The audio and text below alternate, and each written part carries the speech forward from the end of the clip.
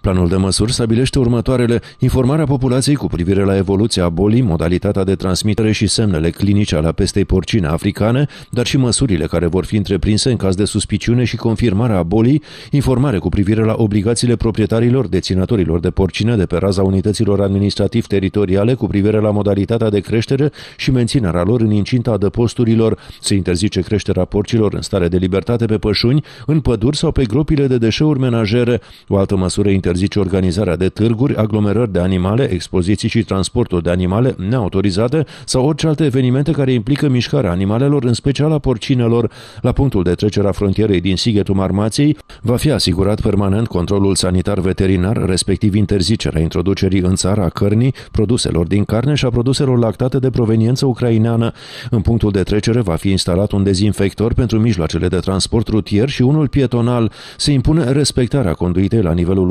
unităților de abatorizare și controlul sanitar veterinar cu privire la pesta porcină africană. Săptămânal va fi comunicat stadiul monitorilor prevăzute în planul județean pentru prevenirea apariției și extinderii pestei porcine africane, a mai precizat prefectul de Maramureș.